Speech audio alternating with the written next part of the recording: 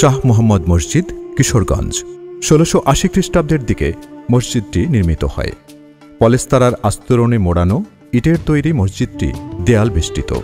এক কক্ষ বিশিষ্ট নামাজঘরটি বর্গাকৃতির এবং অষ্টভুজাকৃতির পিপার উপর স্থাপিত একটিমাত্র গম্বুজে আচ্ছাদিত।